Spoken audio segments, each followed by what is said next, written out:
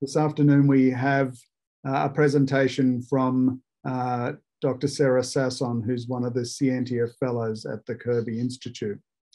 I'd like to start by acknowledging the traditional owners of the land on which, from which we all join this meeting and, uh, and pay my respects to elders past, present and emerging and uh, pay my respects also to any Aboriginal and Torres Strait Islanders who are joining us today. I myself join uh, this call from uh, the lands of the Dharawal people. So today we're fortunate to have a presentation from uh, Sarah, who, as I said, is one of the Scientia Fellows at the Kirby Institute.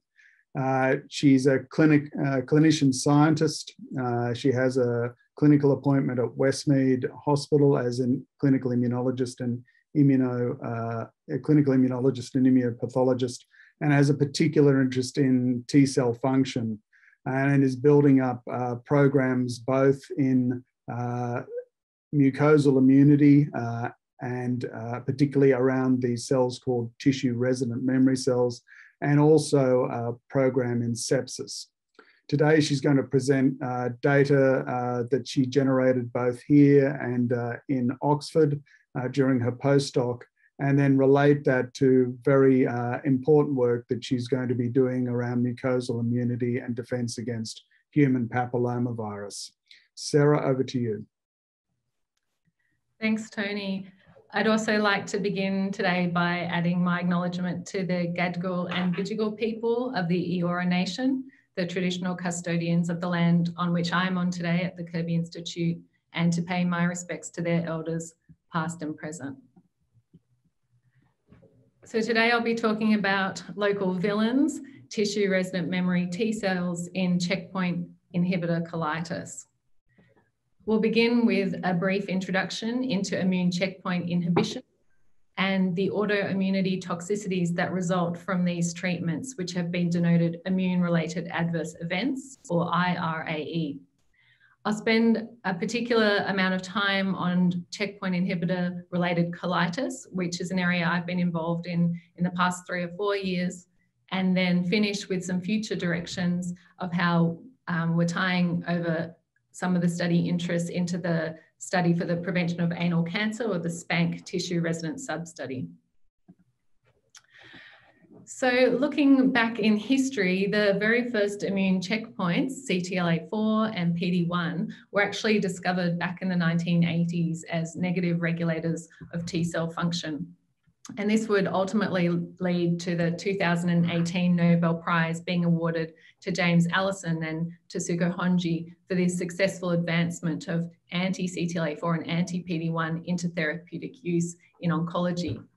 In 2013, Science magazine named cancer immunotherapy as the breakthrough of the year. And while their efficacy was first shown in malignant melanoma, immune checkpoint inhibitors are now used for a wide variety of malignancy with a lot of further trials underway. There are 4,000 active immuno-oncology agents in the drug development pipeline, and those that um, target the PD1 and, and PD-L1 axis is in excess of 2,000 alone. So how does it all work? Well, here um, the T cell is in blue and T cells recognize their cognate antigen using their T cell receptor. The antigen is actually a peptide, part of a protein, which needs to be presented on a MHC molecule on an antigen presenting cell. And if this happens, signal one is provided to the T cell. So that's the first part of an activation signal.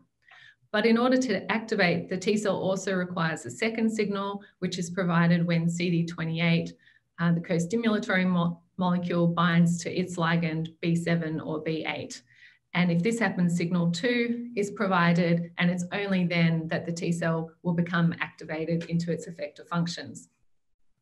Now, terminally um, differentiated and activated and exhausted T cells um, have a tendency to upregulate CTLA4, this immune checkpoint, and CTLA4 actually competes with CD28 to bind B7. And of course, if this happens, that crucial signal 2 is not provided. And again, if T cells continuously um, are exposed to their antigen repeatedly, they can also upregulate PD1. And if that binds its ligand PDL1, again, there are negative signals provided to stop T cell activation. And so what happened with the development of checkpoint inhibitors is that um, these were synthesized antibodies to block the CTLA4 protein, and that drug is known as ipilimumab, or to anti-PD1, and those drugs are nivolumab and pembrolizumab. And the blocking of these checkpoint um, molecules results in an unbridled T cell activation. And so you activate essentially um, the majority of your T cell repertoire, and within that repertoire, um, you unveil the specific anti-tumor response, which is why um, we've seen success in the immuno-oncology field. And so it was a real paradigm shift after several decades of having uh, no positive clinical trial results in the field of metastatic melanoma. Around 2015, we had the first reports of single agent anti-CTLA4 or ipilimumabs being reported. So here on the left, we have a patient with metastatic melanoma um, who has on, undergone a PET scan. And here the black um, bulky disease is PET avid um, tumor taking up radioactive glucose. And you can see after several months of treatment with just ipilimumab, a lot of the tumor um, has regressed. So prior to checkpoint inhibition, the median survival for metastatic melanoma was around 10 months. There was some early um, breakthroughs with BRAF and MEK inhibitors, but when CTLA4 monotherapy came along, that's in orange, you can see there was clear gains um, in overall, the percentage of overall survival on the y-axis over time. And then there were further gains when the anti-PD-1 um, treatments came on, that's in light red. But really, when you combine the two treatments, which is the top line of anti-CTLA4 and anti-PD-1, um, you got synergistic effects. And currently, this is called dual checkpoint inhibition, um, is first line treatment for patients with metastatic melanoma if they are deemed fit enough to receive it. And so looking um, more deeply into these molecules, CTLA4 um, actually controls the amplitude of immunological responses at quite an early time point in T cell activation. And so by blocking it, it's sort of um, quite a sledgehammer approach to checkpoint inhibition. CTLA4 blocks, um, it reduces the IL-2 production um, involved in T cell proliferation. Interestingly, CTLA4 is also constitutively expressed on regulatory T cells, which we know play important roles in dampening immune responses. And we don't fully understand um, the result of checkpoint inhibitors on the Treg population. And, um, and tellingly, when you knock out CTLA4 expression in mice, these mice die prematurely of overwhelming lymphoproliferation and autoimmunity. So they don't survive into adulthood. So it just shows um, how severe that effect is. In slight contrast, um, the PD-1 axis acts at a later stage and limits T cell activities largely in the peripheral tissue. And correspondingly, PD-1 knockout mice have a far more subtle phenotype. And actually, it's a non-lethal phenotype, and these mice do um, grow into old age. And this animal model data actually corresponds very well with human um, results where anti-CTLA4 has been consistently associated with a higher degree of autoimmune toxicity just a diagram to show how this works in vivo. So in this diagram, a non-small cell lung cancer is shown in pink as the tumor, and then a local T cell has the potential to recognize some tumor peptides on its T cell receptor. Um, but here PD1, which is the red arrow, is being bound by its ligand on both the antigen presenting cell and on the tumor. And therefore the T cell is not activated uh, in the second panel, we now have uh, immune checkpoint inhibitors blocking the PD-1, and as a result, the local T cell can activate and migrate to the tumor and cause tumor cell lysis and death. This diagram is just to uh, reinforce that CTLA4 and PD1 are really just the tip of the icebergs in terms of what we know about immune checkpoints. And there's a slew of, of molecules that um, are known or are becoming known. And I'll particularly highlight LAG3 inhibitors, which are already moving into clinical trials, both in inflammatory bowel disease um, and in immuno-oncology. There are three phases of response to immune checkpoint inhibitors. The first is uh, elimination, where you get the overdrive of the largely adaptive immune system responding to the tumor antigen. And then what happens is the some tumor cells will survive checkpoint initial checkpoint inhibition, um, but the host adaptive immune response will keep those rogue tumor cells in check. And I actually think of this as quite analogous to um, chronic HIV infection, where the host will achieve a viral set point um, due to the adaptive immune response. And, and then again, the, the, there can be a third phase of escape where unfortunately not all tumours will remain controlled by checkpoint um, inhibitions. The tumour may develop resistance to the anti-tumour response through loss of a specific antigen, change in cytokine expression in the tumour um, immune milieu, or upregulation of further checkpoint inhibitors. So a superior clinical response to checkpoint inhibitors is associated with an increased mutational burden of the tumour, and I'll speak a little bit more about that on the next slide. But basically, the more mutations you have in a tumour, there's an increased proportion of neoantigens or proteins that are not expressed by normal hosts. And neoantigens have the ability to be more immunogenic. So they recruit more T cells with a more diverse spectrum of T cell receptors that amplify the cytotoxic lymphocyte response. It's also um, um, important that the tumour has an increased capacity to respond to interferon gamma. And that's been shown by patients with deficiencies in JAK1 or interferon gamma signalling um, have been associated with a loss of response to anti-PD-1 therapy. And I've highlighted that in red because that will become um, important later on. Uh, increased expression of PD-L1 in the tumour. So that's actually a known immunoevasion um, mechanism by many tumours. They upregulate PD-L1 um, so that they can silence um, local T cells. But if that happens, it's actually um, favourable that that can be a targeted pathway using checkpoint inhibitor drugs. But if you if patients start with a very high tumour load overall, um, there's a poorer response to checkpoint inhibitors. Um, and so this is what I was speaking before about mutational burden of cancers. So here you have a number of different human cancers on the x-axis and the somatic mutation rate on the y-axis. And so we in immuno-oncology, we talk a lot about hot and cold tumors. And the hot tumors are over here on the right-hand axis. And these are tumors that just naturally have a lot of somatic mutations. So that means they throw up a lot of neoantigens. And histologically, uh, when you look at sections of the tumors, there's quite a lot of heavy lymphocytic infiltrate around the tumors. So they do generate this immune response. And we've known for a long time, it, it, far before checkpoint inhibitors were around, that that the um, adaptive immune system did seem to play a role in the control of melanoma, causing the occasional spontaneous regression in certain patients. Um, so up here we have melanoma. We've also got lung squamous cell carcinoma, bladder cancers and head and neck cancers. But as we travel further down towards the left-hand side, these are what are currently known as the cold tumors. Um, so we have things like medulloblastoma, acute myeloid leukemia, neuroblastoma.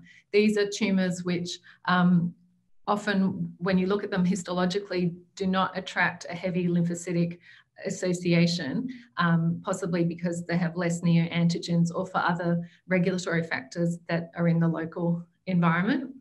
And what it seems to be is currently that it's more of the hot tumours that seem to be responding to trials in checkpoint inhibitors. Um, and so while these drugs are revolutionizing a lot of the treatments of many cancers, um, they're very much a double-edged sword and um, they come at the cost of immune-related adverse events. So these are iatrogenic autoimmune toxicities that most commonly affect the skin, gastrointestinal tract and endocrine organs, but as the panel on the left show, really can affect nearly any body organ system. And these toxicities were evident in, evident in the licensing trials of the drugs. Um, so this is a big table, but I'll just show you the middle column is the combination checkpoint inhibition, and the left side is the PD-1 alone. So in combination therapy, around 40% will develop um, a, a rash, which is a skin toxicity, but only this drops to 26% in the PD-1 alone group. And colitis, which is also a major concern, is 37% in the dual treated patients, but only 4% in the PD-1 group. Um, so as I mentioned, these, these are toxicities caused by the checkpoint inhibitors and nearly any organ can be affected. The patterns of IRAE do depend on which checkpoint inhibitors you use, the underlying malignancy and individual susceptibility. Um, and clinically, most IRAEs are diagnoses of exclusion. We don't have particularly specific tests, um, but severe toxicities can require the discontinuation of checkpoint inhibitor therapy and treatment with corticosteroids plus other immunosuppressive agents. So the, there are several possible mechanisms, and this is something the field is still um, figuring out, but the um, over the current hypothesis is that as you um, cause that overactivation of the adaptive immune system, the um, IRAEs are off-target collateral damage where the overactivated T cells react against healthy host tissues. Um, other theories include that there are common antigens between the tumour and the affected organ.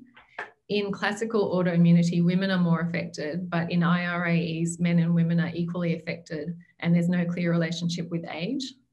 There has been a lot of work looking at underlying genetic predispositions, including specific HLA types, um, but this work is still ongoing. Some IRAEs um, seem to have more of a role um, for autoantibodies, particularly um, thyroiditis, hypo and hyperthyroidism. Um, but this seems less relevant um, in other IRAEs. And there's um, ongoing interest in the role of the host microbiome and how this interacts with checkpoint inhibitors and tumor response and toxicity as well. What is interesting is how these toxicities present, and um, there is some consistency that in terms of when you start the agent, you're more likely to have your skin toxicities early, followed by gastrointestinal uh, toxicities, whereas lung and kidney toxicities can occur later. But as you can see, the error bars here are also quite wide. Um, so you need to keep um, an open mind, basically. And with patients on these drugs, if there's clinical deterioration, you always need to uh, look at whether it could be a tumour progression, whether there's a concurrent infection, um, or indeed whether this could be an autoimmune toxicity from the checkpoint inhibitor. What about patients who have a pre-existing autoimmune disease? How do they fare on checkpoint inhibitors? Um, well, checkpoint inhibitors can be associated with exacerbations of previously diagnosed autoimmune disease or brand new IRAEs may develop. And it's important to note that patients with pre-existing autoimmunity were actually excluded from the initial licensing studies. Um, and so all this um, work has had to be done in um, since the drugs have been released and following up how patients have gone. Um, but in, in one um, excellent study led by um, Alex Menzies over at the Melanoma Institute here in Sydney, his group studied 119 patients with melanoma who either had a pre-existing autoimmune disease or a prior severe IRAE on CTLA-4 therapy. And then all, the whole cohort was treated with an anti-PD-1 drug. So there were 52 patients with a pre-existing autoimmune disease and only 20, so less than half of those had a flare of their pre-existing disease. And of the 20, only two actually had to discontinue their checkpoint inhibitor. Of the 67 patients who had a previous toxicity with CTLA4 monotherapy, um, two developed a recurrence of the same toxicity, um, but then 23 developed a brand new IRAE eight that required discontinuation with, and there were no treatment related deaths. So as you can see, it's not um, entirely straightforward um, how these toxicities develop. Um, currently, um, the current knowledge is that some patients with pre-existing autoimmune disease can be treated with checkpoint inhibitors with caution. Um, it's certainly better to involve multidisciplinary team management, including organ-specific specialists with the medical oncologist, and carefully weighing decisions to re-challenge following autoimmune disease or IRAE. Um, generally, if the toxicity is severe and um, affects the brain, lung, or heart, the checkpoint inhibitor will not be um, pursued. Um, but of course, it's, it's important to consider the whole picture in, in terms of goals of treatment, what alternatives there are, and the expected clinical benefits. Uh, so I'll move now to the work that I was involved with, um, specifically looking at checkpoint inhibitor colitis. So this is the second most prevalent toxicity, but actually the one that causes um, the greatest um, mortality, so, so a big problem. And this was work done um, over in Oxford. So it was led by Dr. Vinnie Cheung, who was a gastroenterology trainee. And we looked at all the patients at the John Radcliffe who were treated with checkpoint inhibitors, as well as a cohort from Liverpool Hospital. So in total, there were 1,074 patients the, across the two centres. And um, basically, most of the more patients um, received anti-PD-1 monotherapy compared to the combination therapy. But similar to the first trials, um, the rate of colitis, 32%, was much higher um, in combination therapy because of the presence of CTLA4 compared to 9% with monotherapy. With the combination therapy here in red, the colitis presented earlier, so a median of 40 days compared to a median of 68 days. And you can also see this long tail, which um, occurred more with the anti-PD-1 monotherapy patients. So the majority of patients could be um, managed with steroid alone. So generally we start with oral steroids and then we can move to IV methylprednisone. But failing that, 22% uh, required um, salvage therapy with infliximab, which is the anti-TNF alpha blocker. And it's interesting, we are very interested in this um, because the use of infliximab has largely derived from the clinical guidelines for more classical inflammatory bowel disease, such as ulcerative colitis and Crohn's disease. But from the outset, um, our group was very interested in whether checkpoint inhibitor colitis was indeed analogous to more classical forms of inflammatory bowel disease. Um, and certainly the combination therapy patients with colitis were more likely to require infliximab um, and they needed their steroids um, longer for a median of 50 days compared to the PD-1 only patients. Um, what was interesting again was um, biomarkers that are useful in more classical IBD, such as CRP, hemoglobin, and albumin, um, were not good biomarkers for checkpoint inhibitor colitis and did not seem to correlate or predict severity of disease. And our colleagues in anatomical pathology um, have quite a challenging time on reporting the biopsies um, because they're very heterogeneous. And this has been long been reported in the literature that when you look microscopically um, at the slides, there's um, yeah, there's just a number of different histological features that can be found. Um, so when we started, we actually started a pilot study here in Sydney um, before I went to the UK um, using um, peripheral blood mononuclear cells that were banked by the Melanoma Institute um, and in patients who developed checkpoint inhibitor colitis versus those who are on treatment without colitis. Um, and I won't spend too much time here, but what we saw in the peripheral blood were actually huge on treatment effects. So there was huge amounts of activations of the T cells in the peripheral blood compartment. Um, but when we went to the UK and started working with colon biopsies, actually a lot of that um, noise could be was overcome, and um, and we could see we could tease apart the differences between the colitic and the non-colitic patients more easily. And so two things jumped out straight away. Um, so here we have so this is colon lymphocytes isolated from colon biopsies from healthy um, volunteers, patients with an ulcerative colitis, colitis flare, and then um, patients with no adverse events versus ipi-nivo patients with colitis. So in ulcerative colitis, there's um, this known expansion of T regulatory cells. Um, this was actually how T regulatory cells were partially defined. And this actually didn't occur with the checkpoint inhibitor colitis. And we postulate that might be due to that high expression of CTLA4 on the T regulatory cells. It might impede their ability um, to expand or function. And we also found there was a big expansion of activated memory CD8 T cells. So the proportion of CD8 T cells that were activated was very, very high in checkpoint inhibitor colitis, much higher than patients on the drug with no toxicity and other patients with ulcerative colitis or healthy volunteers. So these were some of the first clues that we found.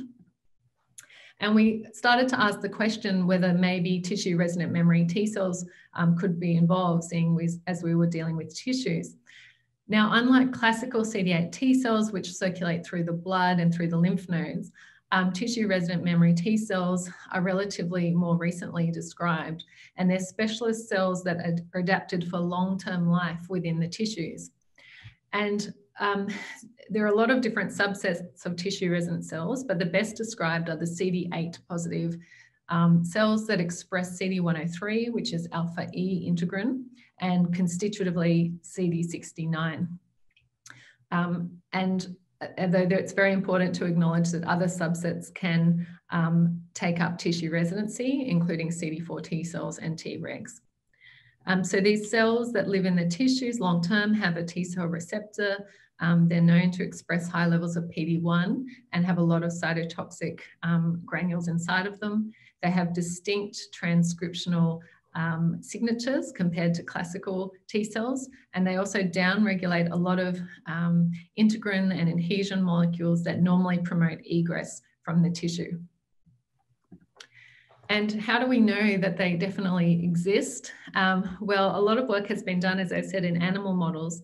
And if you do these parabiosis experiments where you co-join the circulatory system of mouse A and mouse B, the circulating T cells from the two mice will actually re-equilibrate. And so you'll have mouse B and mouse A um, T cells um, sort of shared between the two animals, but the tissue resident cells, which in this case was stuck on the skin, um, don't, don't re-equilibrate and um, they stay put. Um, and then moving into humans, there's, there's really compelling data that's actually come out of the solid organ transplant field. Um, and, and this one is from a paper about lung transplant. So if you take a, a set of lungs from the donor um, when you transplant the lungs into the recipient, there'll be passenger tissue resident cells within the organ. And sampling over time shows that the green cells from the donor um, actually can persist in the tissue for many, many years. And that over time, the recipient will seed their own new populations of tissue resident memory cells into the lungs as well. So ultimately, you'll have two sets of tissue resident memory T cells um, based on origin. And how we can, how that's known is no um, organ transplants are perfectly matched for HLA, and so you can detect differences in the HLA by flow cytometry um, and therefore determine whether it's a, a donor or a recipient um, tissue resident memory cell. Um, so the study I worked on was called the PRIZE study, which um, aimed to predict immunotherapy adverse events. And basically, we recruited patients who um, were referred to start checkpoint inhibitor therapy and they were offered a baseline screening sigmoidoscopy before the treatment started. And then the cohort was followed, they were followed, and at five to seven weeks, all patients underwent a follow up sigmoidoscopy. And we knew this was the time when the majority of colitis would present. So, in that way, we could have both the checkpoint inhibitor colitis patients and the treated non colitic controls. And then the patients who developed colitis, we could also follow longitudinally um, we're based at the Translational Gastroenterology Unit at the John Radcliffe Hospital, and they um, have a really active IBD program. So we were able to have other control groups, such as patients with ulcerative colitis flare, and also healthy controls um, who are people coming in for benign um, polyp surveillance. So all the work I'm about to present is based on tissue biopsies. So patients underwent four to six pinch biopsies when they had their sigmoidoscopy. And then the samples were used for flow cytometry, um, immunofluorescence microscopy, which I won't show today. RNA was extracted for RNA panels and bulk RNA-seq, and then we finished with some single cell um, protein and RNA-seq. Um, so this is just some of the initial flow cytometry. So we knew, as I showed you earlier, that um, the CD8 uh, positive subset looked suspicious. So now we could add in our tissue resident memory T cell markers. And we found that both um, in health and in checkpoint inhibitor colitis, the majority of those CD8 T cells are actually tissue resident cells expressing the CD103, and they also express CD69. So about 80% in health, and then about 60 to 70% in checkpoint inhibitor um, patients were of the CD8 cells were tissue resident, and the only ones that dropped below 50% were the ulcerative colitis patients, suggesting that um, recruitment of circulating CD8 T cells plays more of a role in ulcerative colitis than in checkpoint inhibitor colitis. And then when we use, looked at the activation of these tissue resident memory CD8s, we saw uh, you know, this large signal here with over 60% of the CD8 tissue resident memory cells being activated in checkpoint inhibitor colitis um, compared with those on the same drugs without colitis. So we could be sure that this wasn't an on drug effect and um, it was much higher than seen in ulcerative colitis or indeed healthy volunteers. Um, so we use the co-expression of HLA-DR and CD38 um, as a marker of activation. So in these type of plots, the activated cells will sit up in quadrant two in the top right-hand corner, and you can see the red tissue resident memory cells um, were consistently more activated than the blue non-resonant cells. And um, so we followed this marker and, and it seemed to fit um, with the clinical picture of what these, how these patients were presenting. So here um, in the top panel is a patient who had a research endoscopy at week zero before checkpoint inhibitors were given. And if you just focus on the third column, these are the tissue resident cells. So there's no activation here. Then at week nine, we can see this budding off and there is activation in other T cell compartments, but it's predominantly, um, was more intense in the tissue resident memory T cell population. And then the patient received some infliximab, um, to good effect and that activation um, resolves. And then the second patient actually had severe treatment refractory colitis. Um, and so you can see huge amounts of activated um, cells here, and the disease was not responsive to corticosteroids. And then the second box here is on infliximab again. Um, the disease is still going. And then finally, um, some vedolizumab, um, which again didn't work. And so we have this persistent activation. And and more about this later, but this patient actually went on to um, have a fecal microbiota transplant, which was successful um, at resolving this activation. So next we extracted from the same cohort of people um, their RNA, and we first looked at this using a nanostring um, autoimmunity panel, which was a 780 uh, gene panel. And on the left, the Venn diagram shows the number of genes upregulated compared to healthy colon. So you can see there was 173 upregulated genes in the checkpoint inhibitor colitis, and only 12 of those overlapped with um, the non-colitic treated patients. So we can be sure again that this is not an on-treatment effect. There was quite a lot of overlap with ulcerative colitis. Um, so there were some shared features, but also some unique features to checkpoint inhibitor colitis.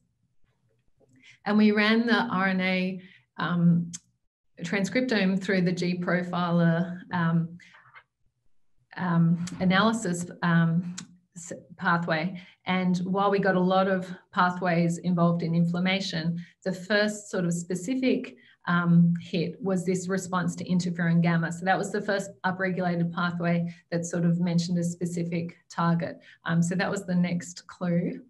And then we went on to use this similar RNA. Um, instead, the nanostring was very good at looking at um, white blood cell markers, but we did a bulk RNA-seq experiment, which actually was predominated by the gastric um, mucosa signals.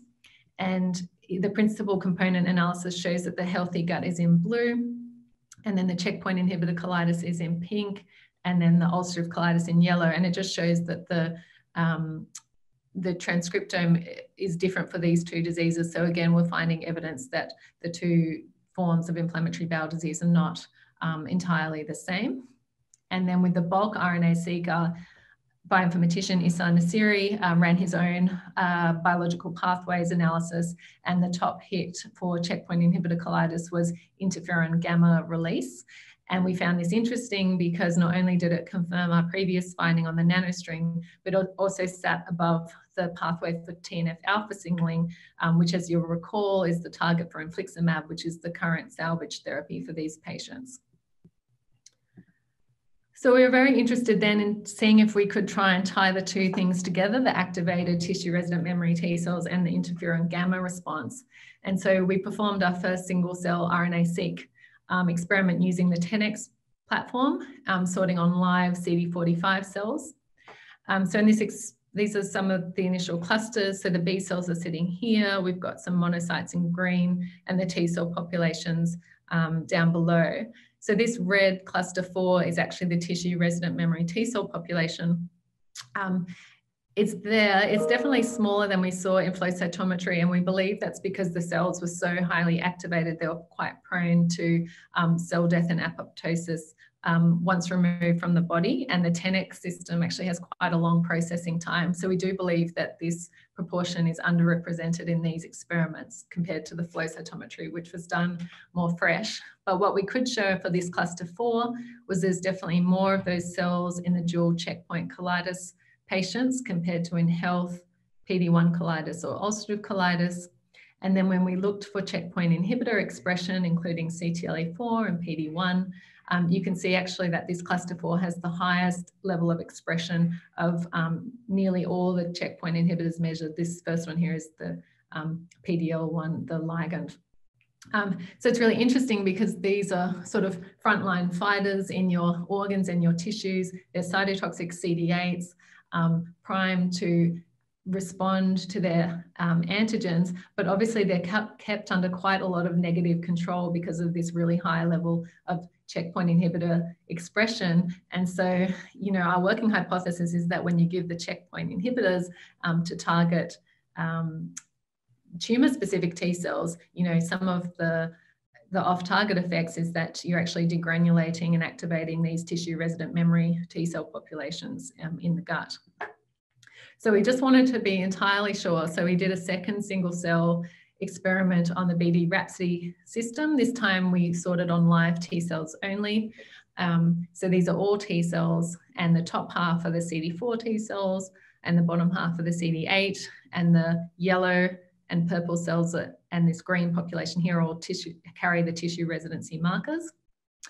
Uh, you can see here the yellow ulcerative colitis um, patient samples are predominantly CD4, which, which fits with our data. And here the PD-1 checkpoint inhibitor colitis is in green, and you can see that's predominantly this yellow tissue resident memory population. And then we looked for which cells were making interferon gamma, and um, you can see it nicely overlays predominantly with the CD8 tissue resident memory T cell populations, with a small amount also being um, expressed by this CD4, CD103 positive. So it's probably a tissue resident CD4 population here as well.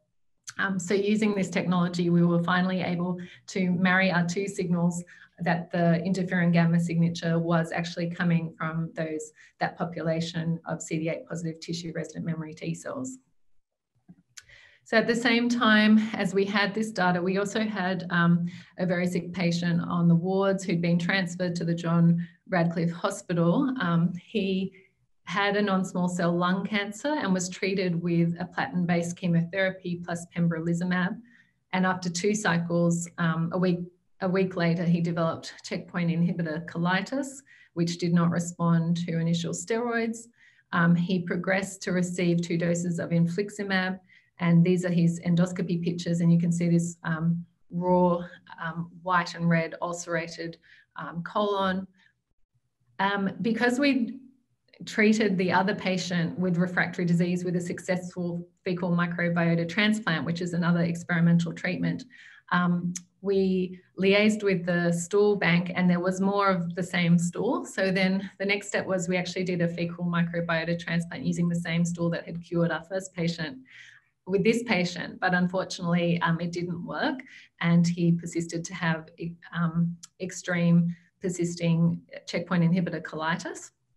And so finally, um, because we had the data about interferon gamma um, in consultation with the patient and the patient's medical oncologist and the caring gastroenterologist, um, we, there was agreement to trial tofacitinib, which is a JAK inhibitor, which is the signaling pathway for interferon gamma. Um, and he was treated with 10 milligrams BD for two weeks. And because in the large clinical trials of tofacitinib, there was a signal for thrombotic events, particularly deep vein thrombosis, we also co-administered um, clexane um, as prophylaxis against that. And actually his symptomology resolved within the first, well, it, didn't, it improved within about 48 to 72 hours. And then his follow-up scopes um, a few weeks later showed the return of um, healthy um, gastric mucosa and he's remained in complete remission for his immunotherapy colitis and he was able to go back and have um, his conventional chemotherapy and he remains um, in a stable condition. So we had samples from the same time of the um, tissue resident memory T cells, and you can see here the resolution of those activated cells um, following the tofacitinib. And we also repeated the nanostring and showed a drop in JAK1 and JAK3 signaling and the corresponding um, STAT signaling as well. Um, so what did we learn? Well, the healthy colon normally has an intact um, epithelium, which keeps most of the bugs out. And there are populations both of CD4 and CD8 T cells, and the majority of CD8 T cells are actually these green tissue resident memory T cells. Um, I haven't spent that much time on ulcerative colitis today, but um, ulcerative colitis is largely um, associated with an expansion of CD4 positive T cells in the gastric mucosa and high levels of TNF alpha expression, um, which is probably why drugs like infliximab work very well. Um, we do note that some patients um, can be treated with tofacitinib in, in, in ulcerative colitis, so there's obviously some role for JAK inhibitors here as well. Uh, what we found in checkpoint inhibitor colitis um, was that the pathology was predominated by activated CD8 positive tissue resident memory T cells that were making a lot of interferon gamma. And we were able to successfully target that in one patient, um, even after they'd failed, um, they'd not responded to anti-TNF treatment or fecal microbiota transplant. Um, so, so, there's this emerging um, potential role for JAK inhibitor tofacitinib to be used as a salvage therapy in severe treatment refractory colitis and around the time we were writing up, there were um, a couple of further reports just of empirical use of tofacitinib showing that it could be used um, without any of the translational um, side of things. Um, but obviously, further efficacy needs to be proven in a randomized control trial. Um, I also wanted to mention that in our reported patient, uh, he did have metastatic disease and he had not failed, he had not responded to the checkpoint inhibitor from a tumor point of of view, which was one of the reasons why he was offered the tofacitinib. But the situation could have been very different, for example, in a patient who was in complete remission from their tumour, um, because the use of tofacitinib by disabling the interferon gamma pathway um, may raise the risk of tumour outgrowth, as I mentioned earlier, because interferon gamma appears very important for overall tumour control. Um, but we acknowledge the lack of um, prospective randomized control trials in this area. Uh, so we treated um, the patient in early 2020, and then by September 2021, the FDA in America actually put a box warning on JAK inhibitors, including tofacitinib, because in large um, epidemiological studies, um, there was um, a rise in the incidence of heart-related events, cancer, blood clots, drug for two weeks, but many patients um, remain on these drugs for a long time. Um, so again, another complication in, in the use of such therapy. Um, but in saying that, there are other um, potential targets for tissue resident memory T cells, and we've recently heard of a company making a monoclonal to CD103, which is a canonical marker of tissue resident CD8s. So there may even be other ways of um, targeting these, these pathogenic cells. Uh, I just wanted to finish by acknowledging um, the team for the checkpoint inhibitor colitis. So Oliver Brain was the gastroenterologist who was the PI, and um, Paul Klenerman was my co-supervisor and whose lab that I worked in. Um, ben Fairfax and Isar Nassiri did the bioinformatics, and I was funded as part of the Oxford BMS Fellowship Program with additional funding from NanoString. Thank you. Thanks, Sarah, for a really terrific talk. Um, so uh, we can, the audience can ask questions by uh, entering the questions in the Q&A box. Um, and Sarah, there's already a question from, from Chan. Uh, and Chan asks, uh, Rhapsody data demonstrated that uh, TRM CD4 cells are also, also contribute to interferon gamma production in ulcerative colitis what subset do these CD4s belong to? Are they Th1 or cytotoxic? And do these cells exist in healthy tissue?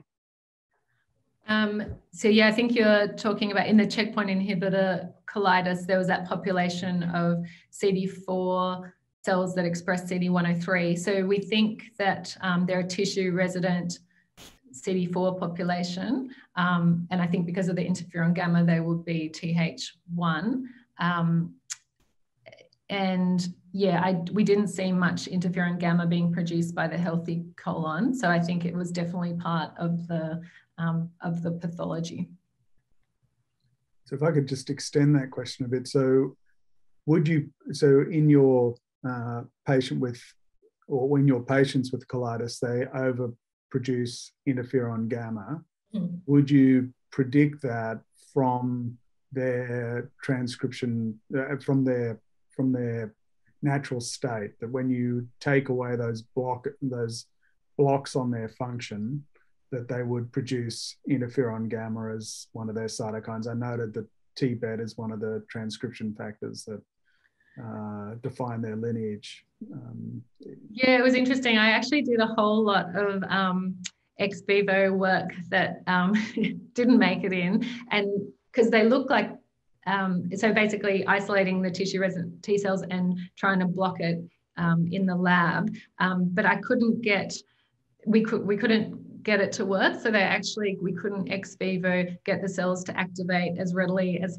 we thought we would be able to. So we put like anti-CTLA4 and anti-PD1 on ex vivo TRMs in in tissue culture, but it was very hard to get get the same level of activation. And our conclusions from that work was it must be quite complex the crosstalk between the like the microenvironment of the colon and also all probably the innate cells. I think there's a whole inflammatory um, like um, snowball effect that happens and probably the trms are near the beginning but i do think that there's probably innate cells involved there and probably the tissue signals are important at propagating propagating it okay so Fabio, um, Fabio uh, has uh, has said, "Great talk, Sarah. Do you know if anyone has looked at the T, TCR expression in these subsets? Ben Fairfax showed a significant correlation of T cell clonal expansion and ICB outcome in breast cancer." Um, yeah, so Ben was working. He did all that from peripheral blood, and we actually do. We did do the TCR work on this, but we, Ben felt that um, there was just not enough T cells to be sure. So basically, what we found, it was very hard to show if there was a skewing. Um, because in the checkpoint inhibitor colitis, you might have an overrepresentation of some TCRs, but then when you looked in the healthy population, the same or similar TCRs could also be overrepresented. Represented, um, and so even in a healthy person, there's skewing. And so we didn't feel that we were powered enough to make a meaningful comment. Um, I'm trying to remember, I think overall, um, yeah, I think the patient groups were quite similar. Even the, treat, the checkpoint inhibitor patients were quite similar, whether they developed the colitis or not the colitis. So we didn't get, there wasn't like a one dominant TCR that stood out. And I think the data was just too complex to be sure, which is why we didn't include it. Okay. Um, Chan's also asked, is there an absence of uh, tissue resident uh, memory Tregs that would normally suppress these activated CD8 tissue resident memory cells? Yeah, so given, um, I guess, both of our backgrounds, um, Chan, heading into this project, my leading hypothesis was that these diseases were due to a dysfunction of Tregs, and I knew that Tregs expressed high levels CTLA4. So I went in thinking that Tregs were going to be quite central to it. Um, all I can say is you can still definitely see Tregs in the tissue, but they don't seem to expand in response to the inflammation like you see in ulcerative colitis. So in ulcerative colitis, you can definitely see this expanded Treg population. I think the checkpoint inhibitors somehow disables that. They're still there, you can still see them, but I just, I do wonder about their functionality and whether that could be playing some kind of additional role. Um, but because there was such a minor population, um, yeah, we didn't really pursue that. But I still think they could be, like their dysfunction could be contributing um, to the unbridled inflammation that we're seeing. So Sarah, given your hypothesis that the TRMs are at the basis of this, um, you'd, you'd expect that uh, mechanisms that inhibit uh, the um, translocation of cells, such as the monoclonal vedolizumab, which is an alpha 4 beta 7 inhibitor, would not work in this condition. Are, are there case reports or has anyone looked at vedolizumab in, in this situation to see whether that sort of supports your hypothesis? Yeah, so um, at the TGU, vedolizumab was on the list of um, agents that were used in these patients. So, um, so the group had treated patients with vedolizumab, and there were definitely cases where it seemed to make a difference, um, but um, but yeah, it didn't seem to fit with what we were seeing. Um, yeah, it's hard. It, I mean, the TRMs do sort of spin off from circulating cells. So, so there could be some pathway where, um, you know, could be stopping progenitor TRMs from seeding into the colon. But certainly um, from our data, we know that the colon is laden with TRMs to begin with, and they're all sitting there. But it might play a role in, I guess, relapse of disease or how long it goes on for. But yeah, Oliver Brain, who um, was the PI, he's definitely said he had cases where he thought vedolizumab had worked. Um, but but then others where it had failed as well. And and the FMT is another wild card because we definitely had one responder whereby replacing the microbiome right. um, it worked, but then using the same stool in a different patient it didn't. So yeah, there's obviously still unanswered questions. Whereas vedolizumab does work quite often, not all the time, but frequently, and is one of the mainstays of treatment of things like ulcerative colitis, which yeah. from your data would seem to be due to the influx of circulating CD4 T cells.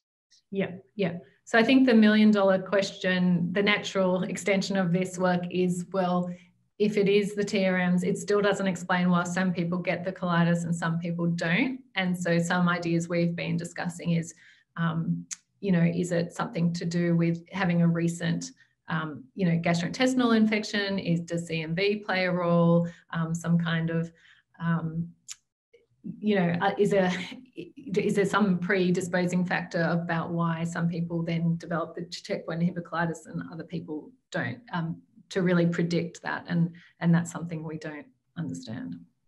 Which is where your points about the microenvironment of the colon mm. might be really important. Yeah.